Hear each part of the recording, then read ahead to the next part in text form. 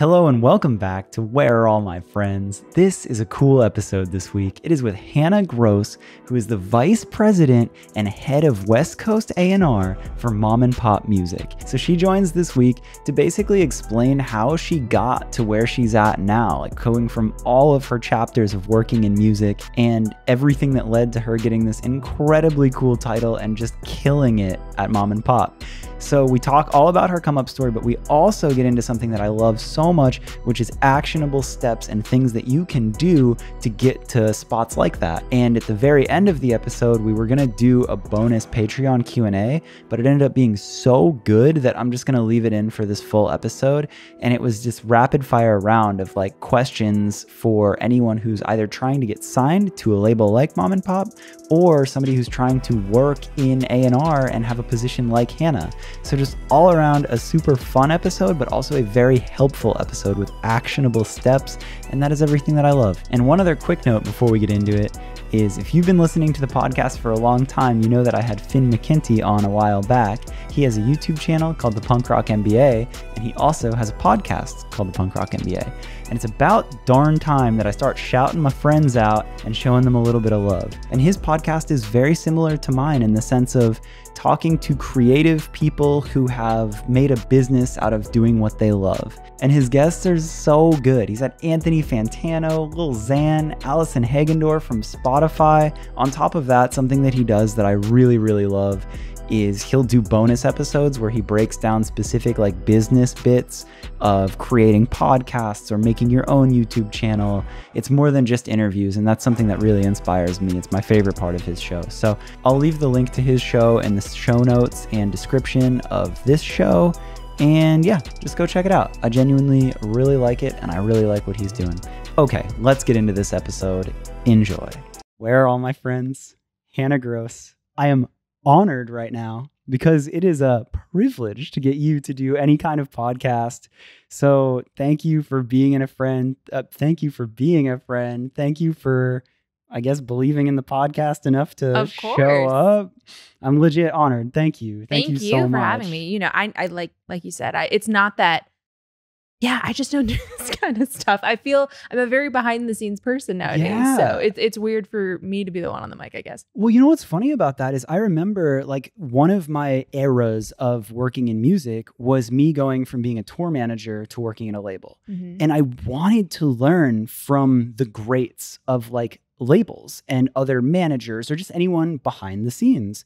And there's so few articles or good press or interviews mm. with those people. And that always kind of bothered me because I was like, I like, what's the easiest way to learn is like find who's doing the best of it and see what they're doing and it's ask not questions. a very public and, persona. Exactly. Yeah. And there's so many music podcasts where you're talking to lead singers about how they wrote albums. And it's like, that's awesome. Like, I genuinely do like to know that. I just feel like there is a lack of people killing it in the industry that are probably making your favorite artists re- or your favorite records from your favorite artists. I can podcast. I've done this. You've done it before. Yeah. Um, and you just don't hear from them and they're making such big waves behind the scenes and I feel like that is you. So that's where I'm excited to have this conversation. So again, thank you. Of course, I'm happy to be here. I think it's also that the reason like a lot of people that are kind of behind the scenes on projects the reason that like there isn't a ton of like A&R articles or like industry people articles or whatever is because like we never want to take the shine off of our artists. That's you know? Yeah. Like it's never about me that when I work true. on a project. It's about the person whose project it is. And that's kind of the mark of a good team. Is like when your team's not trying to take right. the shine. But that's like again, that's where it's like weird with this podcast is I intentionally want the people that people like don't pay close attention to and you have to dig to find because I've found in my experiences from touring to management to labels some of the most interesting remarkable inspiring people are the ones that you really kind of have to do your homework to be like mm-hmm. wait you did this and this. So again, thank you. And here at this spot is my little time where I get to make you sweet brag. So for anybody who doesn't sweet know brag. who you are and what you do, okay. what are you up to now? What's your position? Some artists that you've worked with and that that quick little picture. Um, okay. The sweet brag is such a great term, by the way. Oh, yeah. Um, sweet brag. I am the vice president and head of West Coast A&R at Mom and Pop Music, which Let's, is a great indie label, um, probably one of the biggest indie labels in the US, let alone the world. More than I Um, realized. Mm-hmm. Crazy. Yeah, it's bigger than a lot of people realize. Um, so yeah, um, and before that, I worked at labels like Elektra and Atlantic, and you know, I've done consultancies, scouting, internships, all of that as well beforehand. So, um, I know we were just talking about it because the last time I saw you was at my birthday, which was last week. Yeah. Um, and I'm 28 now, which marks 10 years of doing all this. A decade in music. Yeah. Which is crazy. Mm-hmm. And I think that that'll be like a cool place to really dig in and start this is I'm curious where you had that moment of finding music to some capacity and just being like this this is it like this is career time this is more than a job or like where you found that spark and that passion to be like i'm gonna do this Yeah. Whew. Um, it's definitely changed a lot over the years too. Like I didn't wake up when I was five years old being like, I'm gonna go be an A&R executive. right it's not like one of those kid like firefighter Right. astronaut type no, uh, it's not. Um, but yeah, I grew up on the west side of LA. My family's not musical at all. I mean, no one even like our parents made us play instruments, but like no musical heritage. I don't know anybody in the industry really, or I didn't growing up, that whole thing. really Um, Yeah. So when I was young, I just started music lessons like a lot of other kids did. I was like four years old and I started playing classical piano. When I was 13 or 14, I started playing jazz. I started playing pop music and then started writing music because I was really fascinated by like, you know, knowing how chords go together and all of that and putting them together myself. And then in high school, I scored for my drama department Mhm. um, for all like the productions we had or whatever. I was like writing the music that went behind a lot of things or just doing a lot of like nerd thespian stuff, which was fun. Um, but yeah, so I ended up so getting you were in it Oh yeah, I was like a full on music kid. Like I was half and half. I was like jock half the year. I played competitive volleyball in Southern California, and um, I did theater and music the other half of the year. Yeah, because you kind of fucked yourself up with sports. We were talking about this. Like you had do a have of like sports crazy injuries. sports injuries. Well, also when I was younger, like my plan was to play sports for a really long time. Oh. Um, when I was going to college, I was thinking about, you know, do, did I want to play volleyball in college or all of that? Um, but I had gone really into music by the end of high school. So I had led with that and it ended up working out because I got into NYU and I went to NYU um, to Tisch in the Clive Davis Institute. And I actually got in for performance, which was hilarious. Whoa. because Your girl is not an artist anymore, but Whoa, I but got in wanting to be an artist. that's a whole lot of your life of like doing artist stuff. Like like yes Hmm. and no though because when i showed up okay you have to imagine like this is a very like talented group of kids that are in this class right and a lot of them are very successful today in their own right and whatever they do but like i showed up and i was like oh my god a lot of these kids are doing like real artist stuff like recording music playing shows already like making music videos all this stuff i had not done any of that like i wrote songs in my room and i like had someone help me record them for my college application. Like that's as that's as far as I've got I've Yeah. gotten at that point.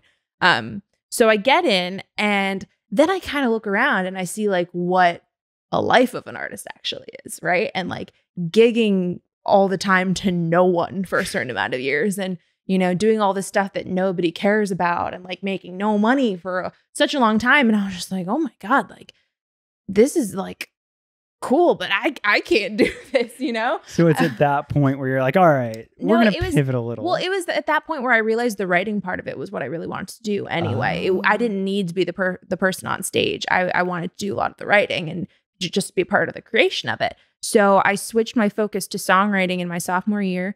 And I had started interning because we had an internship requirement, and I found out what A&R was, and I was like, "Oh, this is what my brain kind of does anyway." So I did a double focus in A&R and songwriting for college.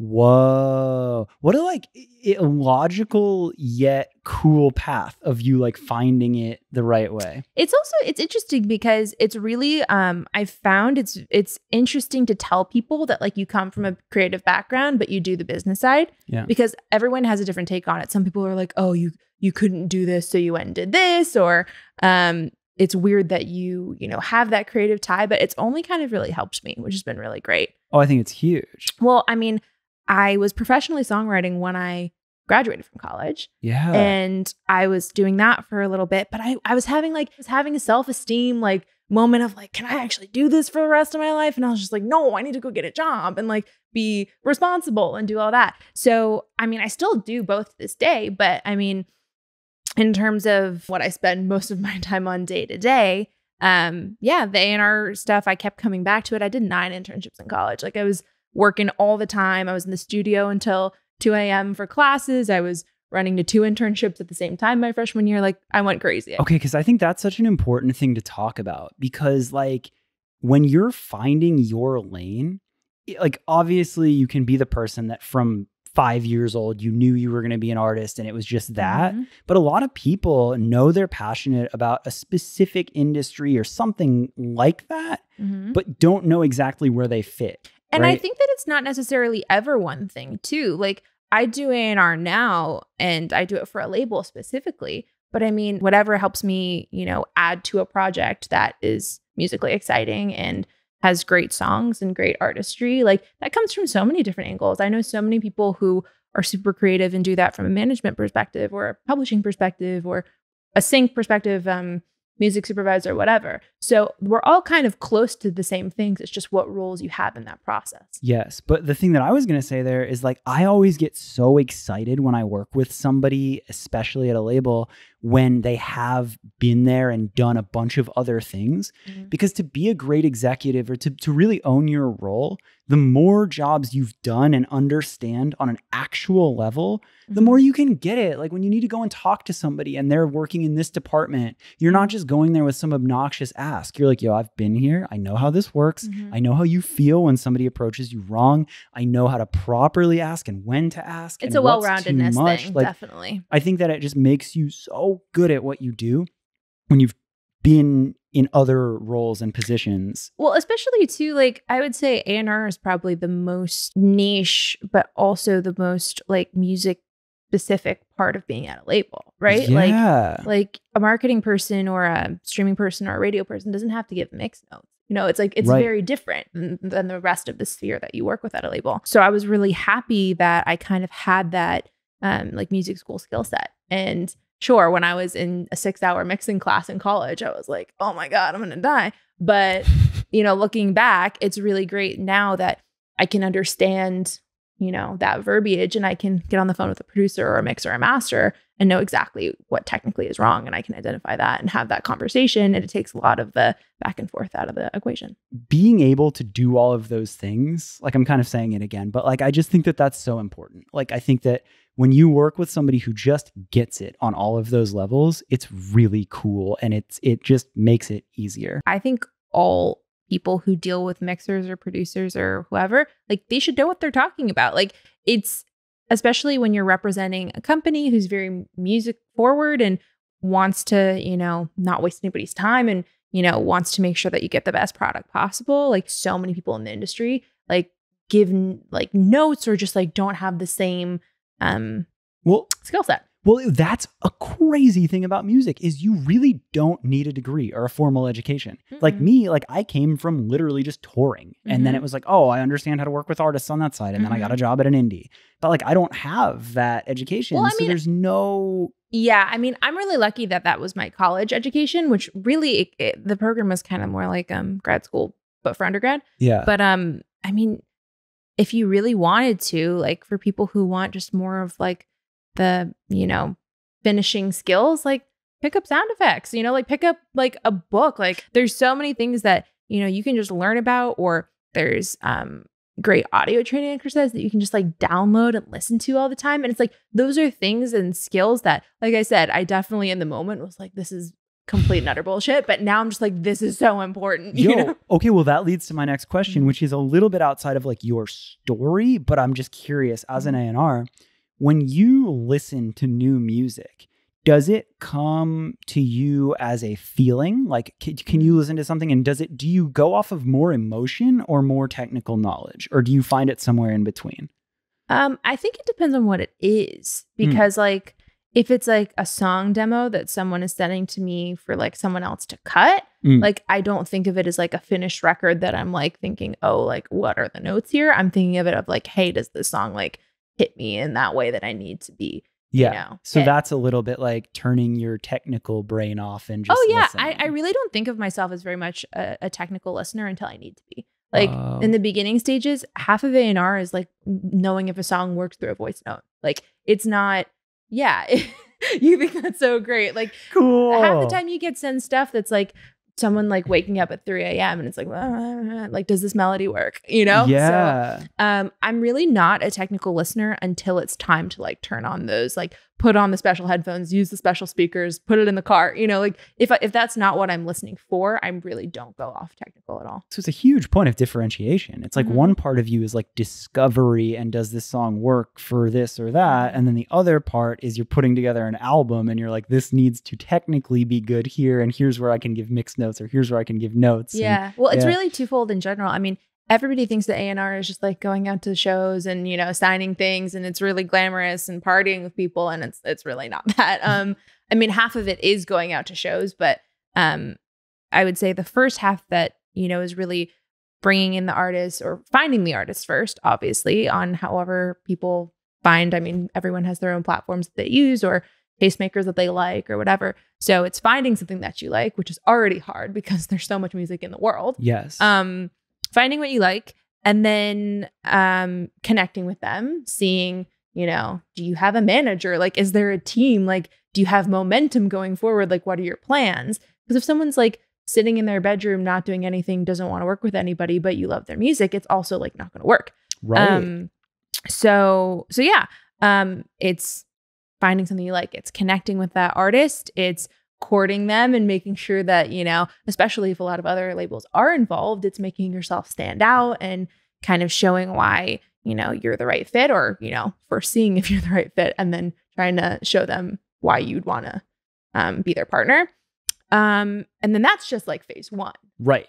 Right? That's what everybody knows. That's, what what everybody everybody, when you think A and R, that's it. Exactly. It's like it's the talk It's and like it's the, the- meeting the artist like and the smoking a cigarette in the alley in New Yeah. York, like uh, like outside the venue, you know, and everyone's like, "Hey, by the way," like Yeah. that doesn't happen. your um, razzle dazzle. right? Me just being like this random alley person, being like, "Hey, I really liked your set."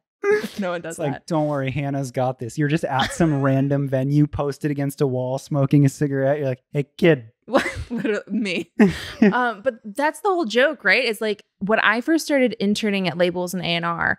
Um, one of my intern supervisors, w- like, he was like, "Let me give you a crash course at how to find an A and R in a room." Uh-huh. right? And everyone knows, right? You're at the show, it's the people in the back at the bar on their phones Yeah. Every single time. If it's New York, you're in a black leather jacket. yeah. That's it. That's all you need to know. So that's the first part. Yeah. That's so the sorry. first part. First part of A&R. And then the second whole part is what happens after you sign the artist, right? It's making the record. It's making sure, you know, the right people are involved, that things are going on time and on budget and um really connecting with your artist and saying, "Hey, what kind of record do you want to make? Like who are your dream collaborators? Like, you know, play me some of the stuff you've been working on. Like let's brainstorm and let's talk about how these things can be leveled up." So it's making the record and making sure that that gets done. Yes. And that's the whole second part. Yeah. And Yeah. that is so interesting because that takes a certain amount, it takes skill in every different sector where you have to be able to like have social skills, where you have to be able to talk to Mhm. people and like deliver hard news and then also deliver good news Oh, and get people all about hyped. personalities. Yeah, all about personalities. But then you also have to hear and like help direct an album in which way it's going. You have Mm-hmm. to understand budgets and you have to understand where you have to have prioritize things. Like you have that's to where pick it your gets battles crazy. too, because like you know, a lot of the times artists really. I mean, A&Rs are there to help you and they're there to kind of guide you. And well, the right A&Rs are there to guide you and say to and say to you, like, hey, I know this is what you're doing. Like, let me help you accomplish that. yeah. And a lot of people have this taboo stigma about the label trying to come in and like fuck up your shit. You know? And sorry, can I curse? on Oh yeah. Okay, great. Yeah, run it. run. Um, Fuck like yeah. and, and thank you and they're like oh like i'm not gonna listen to anything they say like they signed me like this is my record like whatever Yes. but the whole point is like i signed you because i like you and like i like your music and i'm not trying to fuck up your music Yeah. like i'm trying to do the thing that you want to do i just might have a little bit more experience of how to do that right, Right. Right. and obviously if like it's a huge artist. Do whatever you want. Right. Like, but if it's someone who's really wants to make an impact on the industry, maybe a debut or whatever, I'm like, hey, I know what you're trying to do. You don't have to do what I'm saying. And this is, of course, going to be your decision at the end of the day. Yeah. But I really think this might be the right angle to take. Yeah, and that's something that I've learned. Like our mutual friend Johnny Minardi. Like there was one time when I, love was, Johnny Minardi. I'm president of the Johnny Minardi fan club. I'm I'm here for it. One thing I remember when I was managing an artist, I came in super hot, and I had a product manager, and we had this whole plan of like releasing a bunch of videos, and I was like dead set on it. Mhm. And the product manager kind of like reeled me back in, and he's like, "Yo, like we should do this, this, and this," and I was all mad. I was like, "No, it has to be this way." And Johnny checked me hard. He was like, "I would have said the same thing to you," and I was like, "What?" And I was like, "Oh, like my Well, ego was all it's upset." like it's all a conversation too. Yeah. Like if it's something where I'm like, hey, I really think that we should do this single first because this is the reason, right? Right. Like because this is, you know, from all the projects we've worked before, like we we really get support here instead of Yes. here. And it's like as long as you hear it out, that's what's important. You have to just be open in Well, general. And that's what I was going to say is I think that it's a two-way street where like I ultimately ended up like listening to Johnny on that and he was right because the videos didn't get delivered in time and had we gone with that it would have fallen apart and we would have looked silly. So he was Mhm. just trying to give good advice from his Mhm. experience. And I think as an artist or as a creative when you're working with a team it's like you signed with them for a reason. Like Mhm. you had to have believed in them. So like they're there to help you. Yeah. And then for you on your side, you have to believe in the artist and know. And it's like, yeah, cool. Like here's what I suggest. But Mhm. if you need to to die on yeah, this hill, I've, I've never been an A&R who's like, hey, you're doing this or it's not coming out. right, Like that's not my style. It's like I sign people because I already like what they're doing, not because I want to change what they're doing. yeah, And you're there to help. exactly, or I'm I'm there to just kind of like show them how their music can reach more people. That's really my goal, right? And obviously doing that in a way that is in a musically authentic way too. I'm not trying to make anyone seem like a sellout. I'm very um I'm very cognizant of you know, especially when you start at one format with the intention to go to another, not to take that too fast. And there's so I also I'm pretty lucky too because when I first got into the industry, my boss was a GM and then a president of a label, and so I had to do A&R and marketing at the same time. Oh wow, so you had like a crash course and just learning. Exactly. Because it was a smaller team, I got to do a lot more and I was traveling. I was, I mean, I brought in my first artist when I was 23, 24 years old. Holy. So, like, I mean, that's pretty young for while I was still being an assistant or coordinator or whatever it was, you know? yeah, Um, so, but I that was, shows you care, right? oh, Like, definitely. You And don't. That's like extracurricular. That's like you giving a shit. That's No, you well, being like, one of my one it." of my like number one pieces of advice for people when they're first starting out is like especially as a woman too like there's a little bit of a different standard about what it means to be an assistant and it's so so so important that you treat your you know creative acquisitions and your A&R as highly as you treat your admin work and making sure your boss is taken care of and all of that stuff too. Let's i'm so glad you said that and Mm-hmm. let's talk about that for a second. Like do you feel like there are a lot of women doing what you do? Yes and no. I mean i obviously there are more men doing what i do than women. Yes. Um, but I think it's interesting because I know a lot of women in publishing Yeah. um, that are amazing A&Rs in publishing. And I do know um, I'm really lucky that I'm friends with a lot of women in A&R that I kind of came up with that are on the label side. yeah Um, I think that, at least in my experience, and I could be totally wrong, but I think I know more women in A&R for publishing than I do for records.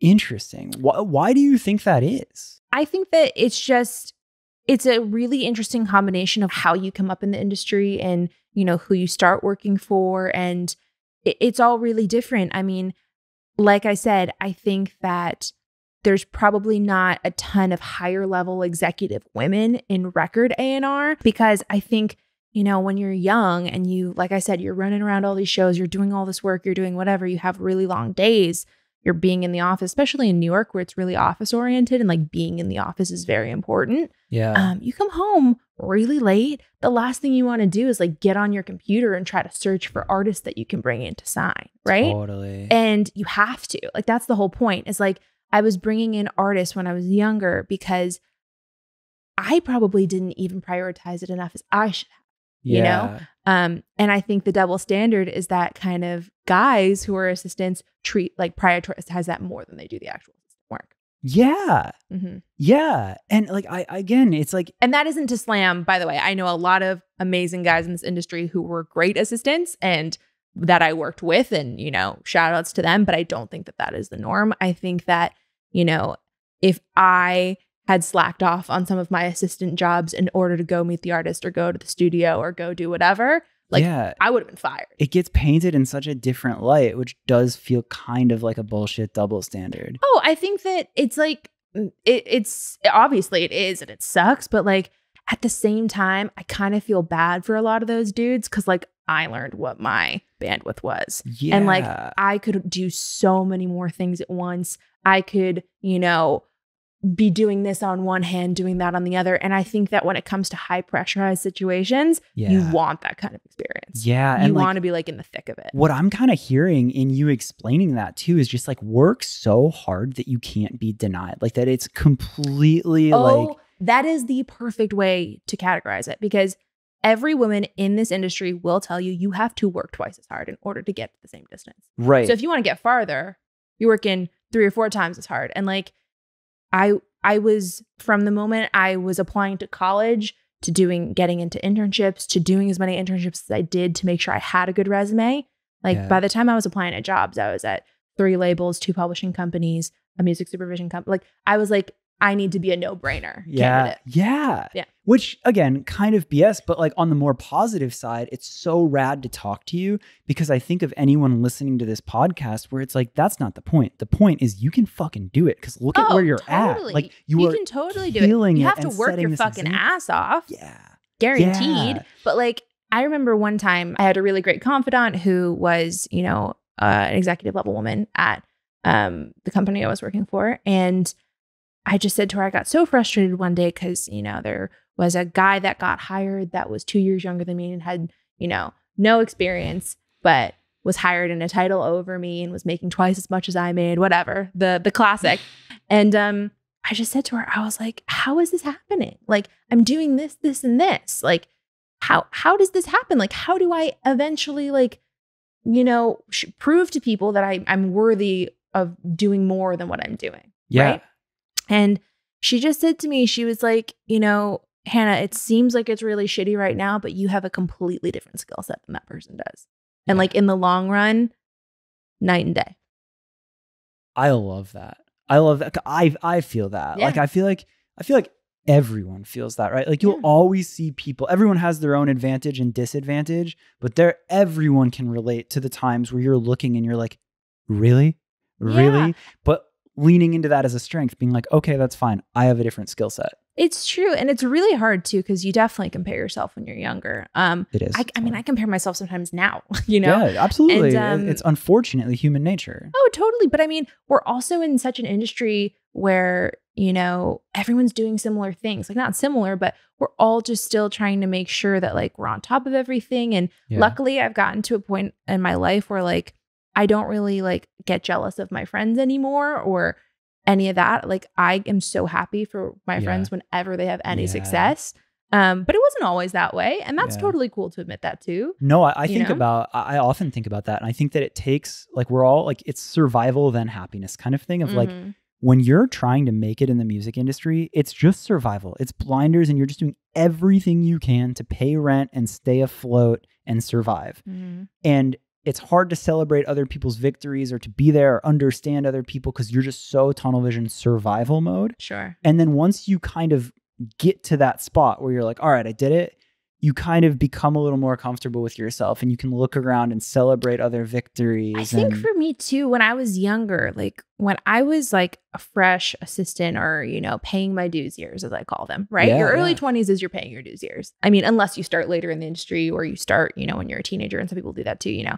Um, but I really took the end of my college years and my early 20s is like, I didn't sleep. Like I didn't do any of that. I had the incredible energizer bunniness way to just go out and be doing whatever I needed to do, right? yeah. And it's kind of like, because those are the years where you can do that, right? You're not tied to anything. Like I think whenever I meet with young people, right, and they're trying to get into the industry, I was just gonna ask you this. oh, it's it's it's so hit or miss because sometimes they're like, I will do whatever it takes. Yeah. And I'm like, sick. Yes, do that. Yeah. And then some people are like, yeah, you know, it's really weird. Like, I just like don't think I could do those hours or like I like I don't think I could do that amount of money. And like to be fair, I think that young people are incredibly underpaid in the industry and Dude, I will fucked and up. I will go with that till the ends of the earth. But um, I will say you like th- that's your time. That's your time to like, especially when you're talking about like sprinting and like really getting an edge up. Like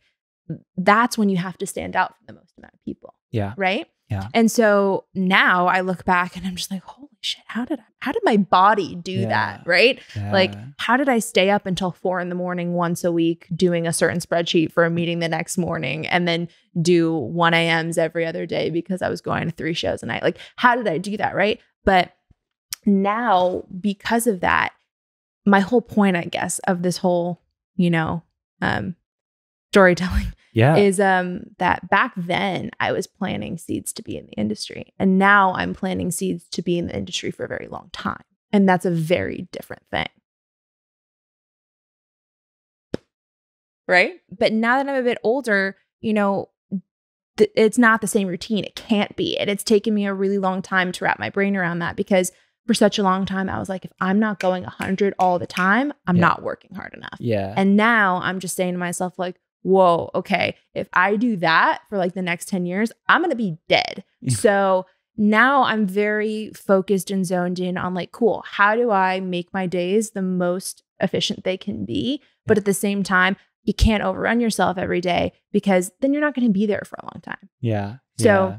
I'm very, you know, as I think now, like how I, you know, spend my time and do my work, I'm just like, cool, I've done enough for today. Let's recharge. Let me let's make sure that I feel good enough tomorrow to do my best work. but it's cool that you now like again it's just like you you had those paying your dues years Mhm. and you worked hard and now you have this crazy skill set where you understand all these facets and you're in this position now where it's all recognized and you're just ripping and i love that. And again it's like just ripping, just over here ripping. that's the andrew word of the year. I love that word. it's not how I would describe my day I to day, but it's cool. well hey i'm here to gas people up you know? But like i just again i i i don't mean to to frame this episode of like a chip on the shoulder of like oh it's bs being a woman in the industry because Oh, there's all these things. It's like it's fucking badass. yeah and it's it's like to me i'm like look at this person Mhm. killing it at this j- title I now did like um look hannah can do it other people go do this like there Yeah. needs to be more of this I just did um you know I I just got on Clubhouse yeah yeah yeah I I think it's super weird for me just because like it's so not my world. But um, a couple of my friends and I were invited to do this like women in A and R podcast, cool and um, or Clubhouse, whatever it is, the Yeah. streaming thing. yeah And um, it was really interesting because a lot of us you would expect to have the chip on the shoulder, and I think in some ways we do, but it's more that like we stand out, and that's such a good thing in A and Yes. You know, Yes. like I've been in green rooms after a set where there's 12 other guys, you know, being the industry high boy. Yeah, I'm leaning Um, on the wall, smoking a cigarette. Hey, kid. Not even, just like, right. We're bringing it back. Honestly, worse that than comedy that. is what we honestly, call a callback. honestly, worse than that. Like more cliche. But I've been in the green rooms, you know, waiting for the band with 12 other A&R guys, and I've been the only girl, and that happens very frequently. Yeah. Now it doesn't happen as frequently, thank God. But honestly, I fucking thrived in those rooms because one, if the band was younger, which I assumed they were, um, I'm closer in age. I don't look like everyone else in the room. I have a totally different energy. Yes. And when I start talking about music, because I know something about that, it's like, oh, cool. This is someone that I might like actually hang out with or chat with or like has good taste or whatever. yeah, and all those dudes blend together at some point. Yeah, it becomes like a like a copy paste video game character where you're like, wait, what? And like, especially for female artists too, can you imagine like going into all of these record labels? They're all dudes. At, well, at that time, right? Like now they're not, but like going into these record labels and it's just like copy and paste men in suit, copy and paste like office plaques, whatever. Right. Right. And it's like, if you're a female artist, like you want to connect with a girl half the time. Maybe not everybody, but it's really comforting. Dude, and to have You somebody know? in your corner, it's like Representation, cool. it's super important. And I think nowadays it's super important to have every kind of person represented in your A&R department. Yes. right? Oh my god. That's- Race, gender, sexuality, the whole thing. Cause like that's what artists are. Yeah. You know? Have you seen that new Netflix movie, Jon Favreau, the chef? Oh, uh, yeah, yeah, yeah. Where Yeah. he drives around in Yeah, the food yeah, truck with his kids. So there's a good context. He drives around in the food truck with his kid and like quits being the big restaurant guy and is like going around like doing the real thing on the street, right? And so there's this one scene where he has this 11 year old kid with him, right? The whole time. And he's showing him how to make the sandwich, right?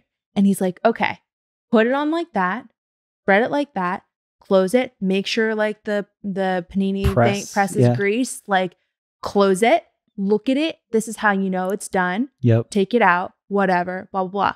That is exactly what mentorship is. Yeah. And that is exactly what so many females don't get in the music industry. Yeah. and the thing is, is like, I didn't have anyone say to me, like, this is what we should be saying in these mixed notes because can you hear that? That's what I got in school. I was lucky. But like, women aren't getting these like mentors that are like, this is what you need to hear for. Right. This is who you need to know. And I believe to further go on that analogy, Mhm. he makes the kid throw a sandwich away. The kid thinks that This it's is quality just good control. enough. Absolutely. Yeah. And this I is love the standard. that This too. is the is- etiquette. Like if someone's upset, like this is what you go and do. You Right. don't get that. like he threw that kid's ego away and like having Mhm. a good mentor also does that. They show you what to do. They show you the ingredients, but then they also show you like here's like if you And mess to, to be fair, I'm not saying anything about like guys that I've worked for. Like I was very lucky to have good bosses in my life or in my career so far.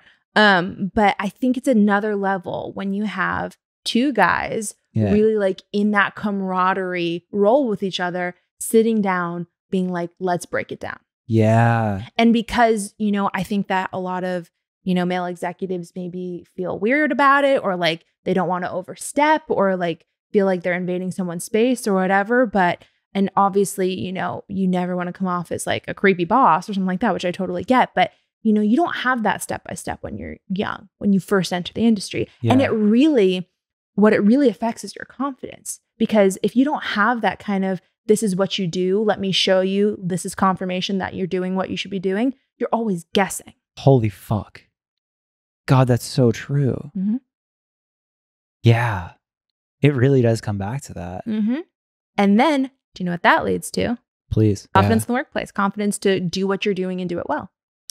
Yeah. I kind of trialed and errored it so much, and You forced it. and I asked the right questions I, forced is the wrong word, but like Foraged you, it. Yeah. Foraged that's, it. That is Yeah. what it is. Yeah. And I think that I asked a lot of the right questions. I think that I was lucky that I kind of had a head up on the technical side, but you know, it was something where, first of all, when you get a job, the real world is different than school. You know, you're dealing with real people, real personalities, weird email etiquette, like all this shit that you've never done before. Right. And so I think that I was really lucky that I had a boss at the time that I could go to and be like, hey, this person seems mad. How should I handle this? Right. Or like, how do I navigate the situation? Yeah. And that was really great for me. And I also think that because I kind of had the background that I did, I was a little more in tune with, you know, really deciding what I felt intuitive about musically. Yeah. God, that's so huge. And that's like so much of what I wanted this episode to be was just like hear your story and hear like every bit of it because here you are now at this spot where it's just like I want you to be an example. I want like other people to hear this episode and be like, "All right, cool. Like Hannah just set the bar. Like here she is like And, and to be it. totally fair, and you don't have to keep this in the episode if you don't want to, but I mean, I think it's also really important to know that when I left and when I came to Mom and Pop, yeah. like it was a lot of people like had questions about it. really? Like they were like, here's this 25 year old girl who just got a vice president role. Like what happened there? Oh, yeah. No, seriously, like I got like I uh, my friends picked up a lot of shit and they're like, "Yo, somebody thinks that like you know someone or blah blah blah." The answer to how you get a good job, you know what you're talking about. And like you know the difference between relying on radio and what a good marketing plan is. Like there's it's all these things where it's like I was very young to do a lot of things. I was very young to sign an artist. I was very young to, you know, get the role that I have now. And I think a lot of people were really not happy about that. Um, but if I was a guy, they'd be fine with it. That is a weird double standard because you're totally right. Mm-hmm. You're totally fucking right. But Yeah. again, as you explain your story, it's like, well, yeah, like you do have the experience because you've been doing this and you put those crazy hours in in New York and all yeah, of this. I mean, I think, you know, it's all good because I would hope and my goal is that once I have a conversation with somebody and once I can actually like talk to them about what I do and, you know, the things that I've done so far, they'd be like, oh, okay, I get it. Yeah. Right. yeah. And it's not like I'm like some like weird clout chasing girl who like went yeah. after a job and got it because I was so charming, right? Like what you want when you talk to people is for them to understand why you do what you do, right? And Yeah. I mean, right? Like Yeah. when when pe- when you you have people watch your podcast, you're like, oh, this isn't just just another guy with a podcast. Like he really does his homework. He really like seeks out what he wants the world to see from it. Yeah. And like just that feeling of like, oh, this person gives a shit. Yeah, yeah, Yeah. or has done the work. Yeah, That's you're right. point. Yeah, it's That's more than point. gives a shit. Anyone Mhm. can give a shit. They've done the work. Yeah, and it's and to be fair, like you have to put yourself in really tough positions in order to do the work and to have the resume. And a lot of people, you know, can't be in that position for, you know, one reason or another. But I I genuinely do believe that this is an industry that is so not reliant on going to college, on specific, you know, resume shit. Like you can do it all yourself if you want to. It's just putting in that time to really make yourself aware. The Yeah. whole point of A&R is just being aware. That's it. Like if you know what's going on, you're golden. My whole job is just n- trying to know what's going on all the time, Yeah. which can be very overwhelming sometimes because you're responsible for knowing the world of music. God, I love that. And I normally conclude the podcast with a question that's like, if you could go back and give yourself any advice, whatever. But I Mm. actually kind of want to frame it a little bit differently because I hear your story. And I the question that immediately comes to my mind in just natural conversation is like, what kept you going? Like, Mm. good lord. Like you a lot of tears in the office, um, Yeah, like- in the like- bathroom. What was that? like, what was that motivation? Like, what kept you going to get to where you're at now? Um, I think it's a few different things. I think that you come up with people who are going through the same things you're going through. And I think having those people to lean on is really important. And I'm going to be lifelong friends with a lot of those people, not to be too hokey. Um, but I- I, think yeah. that's a part of it because like I remember the first time that I really like fucked up in the office, right? I'm just like, oh my God, my life's gonna Worst end, feeling. right? And I was just like freaking out. And then you have someone out there that's like, I did this, you're fine. Yeah. Right. Yeah, the person that And- tops your fuck up. Right. Or then you learn, oh, I didn't do that. I'm fine. Yeah. Um, but no, I think that's really part of it. I think that A&R in general, I mean, the music industry is hilarious sometimes. You know, we all think that it's hot shit and that the, you know, emergencies or fires we're putting out are real things and they're not, right? Like there are people who perform surgery every day. Um, yeah. But I think that another part that keeps everyone going is like when you have that moment where your artist levels up, right? Like that keeps you going a lot. And like even just recently, like one of the last artists I signed is Del Water Gap on Mom and Pop. And he just played Red Rocks for Mount Joy. And it's not that I never thought he was gonna do it. He it just came a lot earlier than we all expected. And he just fucking like killed it. You know? When you see clips of that performance and you're just like, holy shit, like it's this moment where there's like, you have artists that start off at Pianos, Mercury Lounge, Moroccan Lounge here, whatever, right? 250 cap or less. yeah. Then, you know, they play the 500s and then the thousands and whatever, right? Like the first time I saw, mm, the first time I met Wallows was at Mercury Lounge and like, or at South by two. And then, you know, now they're at 5 million monthly listeners. Like there's so many things that like, you you see like these level up moments and Yeah. you're just like oh shit like this is really cool and like Yeah. a lot of people are connecting with this and like this is like why i do that Yeah. It's like that very real, tangible progress and seeing lives change and like being able Mhm. to like, like, I believe in this and and feel that feeling. And Mhm. then it's that much bigger. Like, especially in the live scene like i'm i'm very um live centric as an a&r person like live Right. is very important to me it's just like really cool like that's why people work at labels that's why people work as managers or do whatever it's because there are these moments and these milestones they're just like holy shit like it's working like that's what's important it's so funny. Like, I, I love that you say that because I have a similar feeling. Like, whenever I was working with artists, be it like tour management or label or anything, just the feeling to me of seeing these exceptional people create something that I genuinely believed in. Mhm. Didn't matter the genre, didn't matter whatever. It was just like, wow, this is sick. You made this. Mhm, And then being able to help make that huge, mhm, like just that feeling of being a part of it and helping something that you believe in mhm. get to this tangible level of success, you're just like, holy shit. it's a really like i don't know full circle moment maybe that's the right way to say it but Yeah. like you look around you're just like fuck yeah, like you're not selling insurance. Like you're not making some big company it's, a ton like of extra money. You're it's like, the art aspect. yes, you're validating art. Yeah. And also I think selfishly as an A&R person, I mean, you asked like what advice would I give myself? Yeah. Right? Like I think the hardest thing for me was always trusting my intuition and my confidence in my taste. Yeah. Right? That was always the thing that I was like, oh, well, so and so doesn't like it. Maybe it's not that good. Right? But when you sign something, you see it level, you see things get bigger, you're like, oh, I fucking know what I'm talking about. Like, sure, that person didn't like it. Like, Yeah. great. You know, it's like I think that's the advice I would give my my younger self is like trust your intuition. Like your intuition is there for a reason and you like things for a reason and people connect with things for a reason. And A&R's job is to have that taste, to have that judgment call. God, you knocked that out of the park. That's Nice. so good. Well, damn, I feel like that's an amazing place to leave the episode. And like, thank you, thank you so much for Of that. course. And it's it's awesome to hear your story and hear you break those things down. So thank you. Love it. Happy to be here. Yes. All right, let's do a quick little speed round. Speed round. Speed round. All right, off the top, Uh-huh. A and R. How do you send an email that doesn't suck?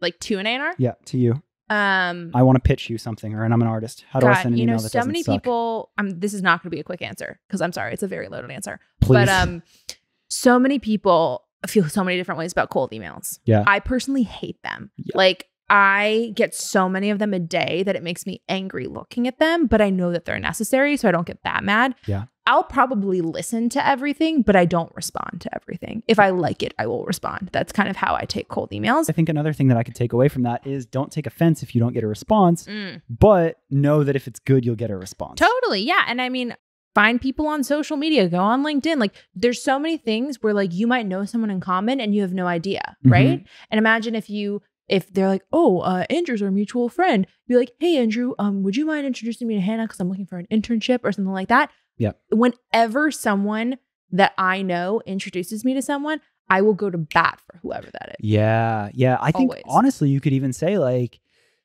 just sending an email just isn't enough. Like, if you really care, Mhm. you need to do better than that. Also, like, you can if throw you're it out going to send an email, do not send a long email. that essays are not read. I'm so sorry. Yes. But like send me couple sentences if you have any like highlights like streams or shows that you've played or tickets you've sold. Awesome. Put that in there. Put a link. Be like, would love to hear from you. Yeah. That's it. yeah. That's all you need. I really, really like that. that's that's gospel right there. Mhm. Trying to go like I want to go like a little bit of like as an artist and a little bit of like you're chasing A and R. Okay. Um, you are looking to get a job working at a label. Okay. Uh, I don't know how to preface this for like the speed round question, but basically what I want you to answer is like, Mhm. should you be picky about the job that you choose if you get any type of opportunity at a label? Ooh, like starting out? Yes. Oh, that's really tough. I have a very unpopular opinion. Everyone says just get the foot, get your foot in the door. Yeah. I don't. Really? No.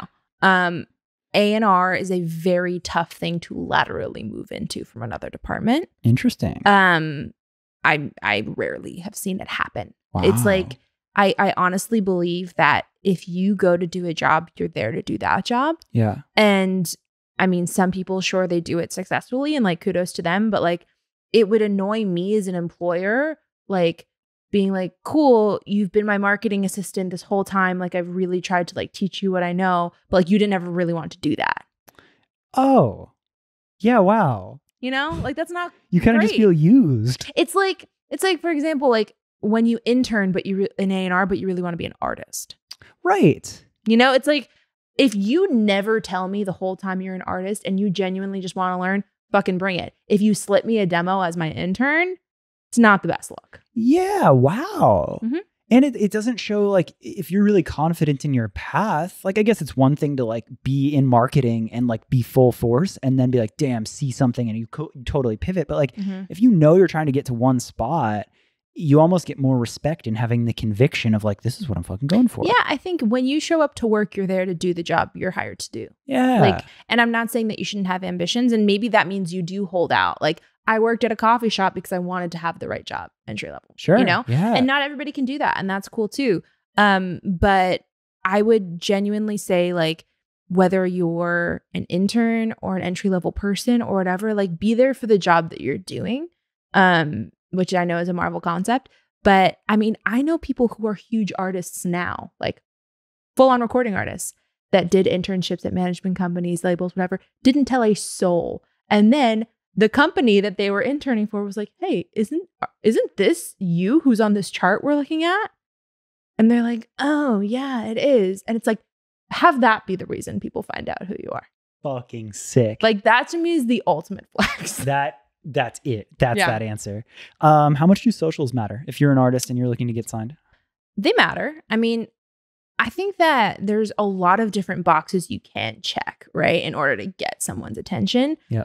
You don't have to have all of them checked. Everyone thinks like, oh, I have to have the streaming and the touring and the socials and the amazing music and all this stuff. Like those are the three to however many million dollar deals that you see because everyone has all their ducks in a row, so they're paying the big bucks, right? Yeah, yeah. Like, I don't think you need to have that in order to get the attention of a label. I think you need to have one of them.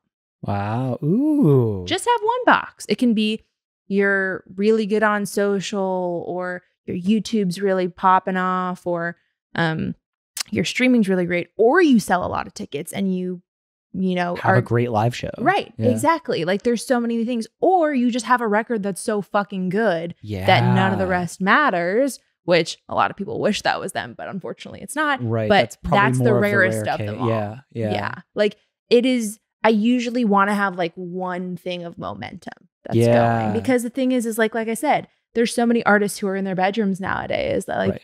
don't have a team, don't have really any plans or like any want to do things besides make music in their bedroom. And that's totally cool. And like you can do that kind of deal. But I'm personally interested in the artists who want to play the shows, who want to, you know, keep building and building and growing that audience, but also like collaborating on music and like working with bigger and better collaborators that they've always wanted to and, you know, build at radio and that whole thing. It's fucking sick. Mhm. Unknown party foul as an artist. Something that you can do or Sorry. industry will see it. Uh, I mean, I guess you could say as a label, something that an Mhm. artist can do where you're just like, damn it.